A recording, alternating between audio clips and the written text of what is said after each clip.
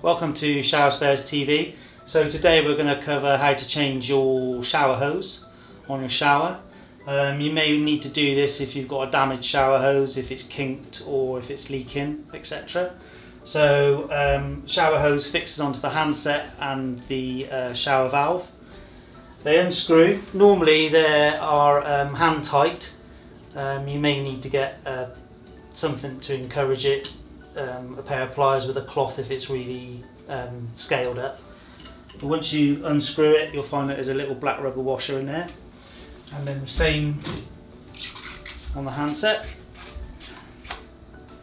There. So get your replacement hose.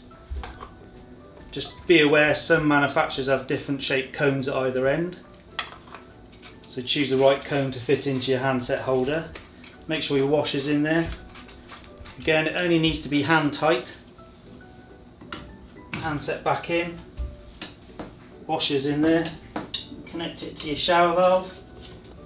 Ready to go.